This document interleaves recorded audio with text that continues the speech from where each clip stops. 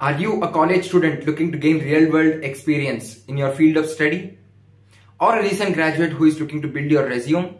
Then you are at the right place cause in this video, I'll be discussing what actually is an internship and how to find one. For all of that and more, if you haven't subscribed to our channel and if you are new to our channel, then immediately click on the subscribe button so that you will never miss out any informative video like this. I'm planning of uploading many informative videos regarding hot topics like placements preparation, freelancing and many more.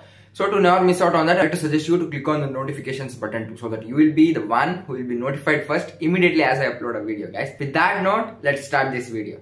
An internship basically is a period of work experience offered by an employer to give students and recent graduates an opportunity to get hands-on experience in their chosen field. It is a great way to build skills, network with professionals and at the same time gain some valuable experience that will let you stand out in the job market. Internships can be full-time or part-time and can last anywhere from a few weeks to until a year too. Some internships are paid while others are unpaid. Many companies offer internships in a wide range of fields from finance and marketing to engineering and healthcare. So one thing you have to note is that the internships are meant for the valuable experience they provide and not the money which they give. So while choosing an internship or picking an internship, money shouldn't be your priority guys. Now understanding what an internship actually is, one question that will arise in your mind is how to find an internship. Finding out an internship can be as easy as searching online, checking out your college career center, and in the same way reaching out to professionals who are working in your desired field. And one thing that you have to remember is the internship can be a stepping stone to a full-time offer in the same company which you uh, complete your internship.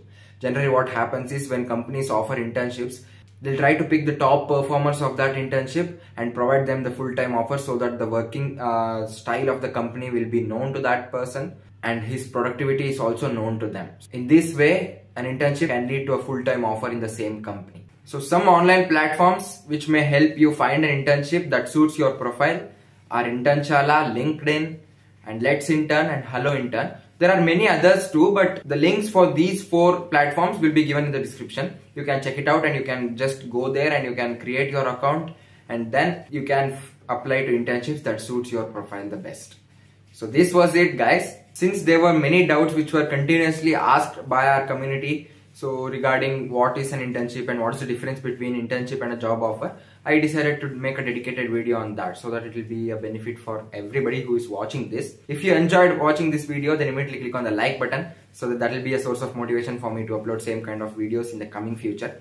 And if you have any doubts or if you have any suggestions, feel free to put it on the comment section so that I'll be able to read it and then think of what can be done regarding it.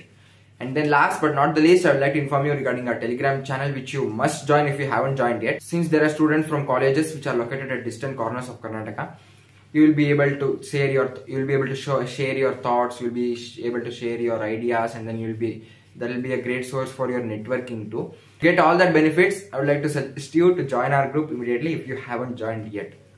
With that note, thank you guys, thank you. We'll meet in the next video. Bye.